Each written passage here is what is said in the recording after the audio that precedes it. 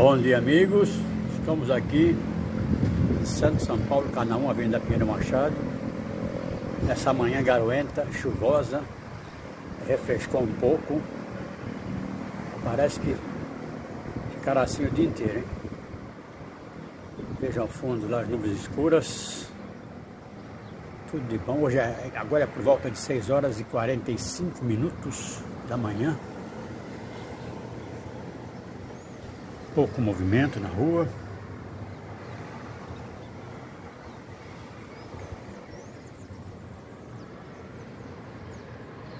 Tenham todos um bom domingo, tudo de bom.